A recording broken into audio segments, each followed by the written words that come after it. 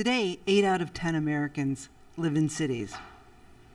That's a good thing for the planet, but it's a challenge to us in terms of ingenuity.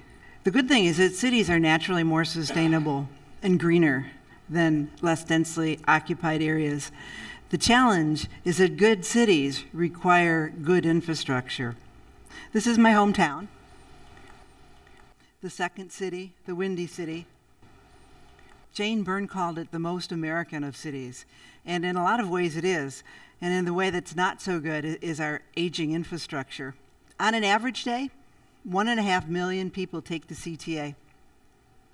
And every new CTA passenger, every person who decides that they're going to take the CTA rather than drive their car, saves two and a half tons of carbon emissions a year, which is important because Americans are kind of slobs when it comes to carbon emissions. We average 20 tons per person annually, so that is significant. But the Chicago Transit Authority is running a capacity now, and Chicago scrambles among other cities to find funding for transit. That's a topic I'm not going to talk about today, funding transit, which is a whole nother one. I'm going to talk about ideas to make transit efficient and affordable. My idea is to put our river back to work as urban infrastructure. About a dozen years ago, I started a project for the city of Chicago, and the project was to turn the uh, city owned riverbank into a park.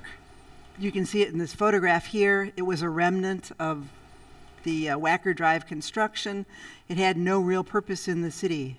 And what the city wanted to do was to return the river to Chicago and return Chicagoans to the river by creating a new green space. So that new urban green space, which is made basically out of left city leftovers, has become a, site for celebration and for ceremony.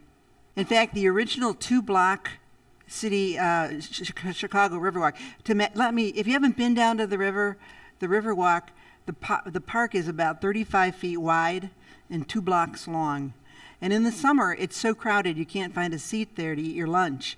And it's so popular that the city now is extending it for an additional six blocks. When it's finished, you'll be able to fish in downtown Chicago. And I'm not sure about the quality of the fish, but you'll be able to fish in downtown Chicago. And you'll be able to kayak to work if you live on the river. It's sort of like bicycling to work, but kayaking to work. You'll even be able to watch Riverside Theater, have a drink before you go home. So the river is working again, but the question is can it be more than a destination? Like many great cities, Chicago was born on its riverbanks. This picture, it's 1832. It's the first permanent buildings in Chicago. They were built at what um, is known as a confluence, where the North Branch, the South Branch, and the main stem come together. And um, of course, Chicago's first permanent building was a tavern, Kinsey's Tavern. And you, you probably know this as Wolf Point. And Wolf Point has always been an important piece of the city of city history. In fact, Abraham Lincoln was nominated for the presidency in a hotel that was on Wolf Point. For the first half of the century, Chicago grew almost exclusively along the river. That was a backbone to growth to the growth of Chicago because goods were easy to move on the river. And although Chicago's ultimate transportation role was at, at being the center of a national railway system that was built during the 19th century, our river continued to work through the period of sail. You see this here, this is the Rush Street Bridge, through um, the early part of the 20th century. In fact, Daniel Burnham's plan, which was 1906, celebrated Chicago's waterway. Burnham saw the little drawing you're seeing there is the confluence. And Burnham saw Chicago's waterways looking like Paris. That was his model. He saw an expanded role rather than a declining role for water. Unfortunately, he was wrong, and the water transportation was take, overtaken by other modes of, of traffic. And by the turn of this century, the millennium, the river was barely used at all as a transportation method. In fact, the only thing you'll see on the river today are mostly um, kayaks, hand, you know, human-powered craft, and tour boats. But I think that the river can be and should be more. I think that the river has the potential to supplement and expand Chicago's transit system. I've been studying this idea with my class of architecture students here at IIT. And the first question we thought we needed to answer was Is there anybody who would use this system? obviously we're not going to move the river. So does the river touch growing residential areas? Is there a need? This is the 2010 Chicago census. Blue is growth, orange is a declining population, and most of it does lie along the river. Now, this isn't surprising. In a mature city like Chicago, most new growth is likely to occur in areas where the function of the original um, area has changed. And in this case, the river is bordered by industrial districts where manufacturers have left. So the river has the potential to serve these new residential areas. But what would the ride be like? Obviously, if it takes an hour to get from North Avenue to the Loop, or if the service is sporadic or if it's uncomfortable, people won't be attracted to this system. So we checked um, what type of vehicles were available. Prices range from a couple hundred thousand dollars for a bus sized water taxi that holds 50 to 100 people to several million dollars for a subway train size high speed ferry that carries two, 300. The fastest boats amazingly travel at 45 knots. For us land people, it's about 55 miles an hour, which is way too fast for the river. We don't need that type of speed. But most of them are designed to travel in the range of 20 to 30 knots, which is 25 to 35 miles an hour. Um, so that is appropriate. One of our concerns, though, in looking at available equipment was is it green enough? Most boats rely on, on old technology, and we found some really interesting things.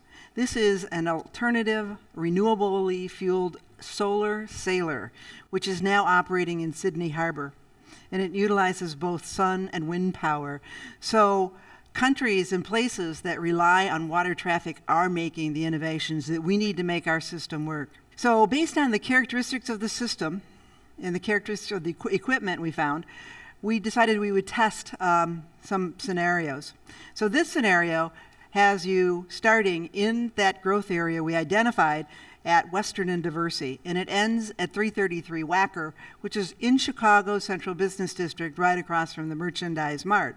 Via existing public transportation, this journey would take about 32 minutes. I show it taking a bus and then a subway. You could also walk, if you're a Chicagoan, you could walk to the uh, Brown Line and take the train down too. It's actually about the same amount of time. A river taxi doing that same journey of one and a half miles with two intermediate stops would take 24 minutes. I don't think it's incumbent on the system to beat the CTA, but it has to be competitive. In this case, we're actually eight minutes faster. We also tested the South Branch, and in this case, we started in Chinatown, which is also uh, quickly growing. The fastest way downtown from Ping Tom Park to 333 Wacker is a 62 bus, and it takes about 29 minutes to get from Ping Tom to 333. So, so we tested our uh, river traffic, and um, this journey, which is more like two miles, would take 24 minutes. So again, a smaller savings, but a time savings. We also tested lake routes that would be commuter routes, like say from Wilmette to Navy Pier, or from Gary to Navy Pier, and they are competitive, not necessarily faster, but competitive. We also explored the idea of extending the system down to the fast growing southwest suburbs uh, like Joliet and Lemont. And those systems using the Ship and Sanitary Canal have a lot of promise. We had questions, though, about reliability. Currently, water track taxis and tour boats are seasonal operations. Surprisingly, we found that the Chicago River doesn't freeze solid. In fact, the worst situation is what we had this summer, uh, which is icing over. And there's a scientific reason for that. Water doesn't freeze. Uh, for water to freeze, all the water has to reach 4 degrees Celsius. And then the crust, the surface, when as soon as it reaches zero, can start to form surface ice. Because the river is moving and fed by the lake, it's very um, unlikely that it'll ever freeze to a solid state. The final question, though, is will water based transportation be cost effective? This is a, a, little plan that shows Chicago's 2008 city plan, and you can see that the city was proposing the red line is a subway that would go just about along the river. So let's see what that sort of thing would cost. Here are some typical equipment costs for different modes of transportation. In January, the CTA ordered new buses. A 40 foot bus in that order costs about a half a million dollars. A 40 foot bus ca- carries about 90 passengers. The uh, New York City Transit Authority last fall bought new subway cars. They carry between 100 and 120 people.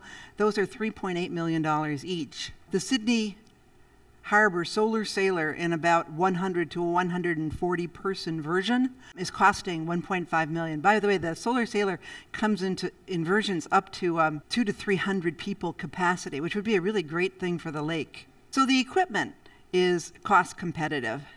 But I think that the real advantage in water transit lies in the reduced, almost free infrastructure that it uses. That's the river.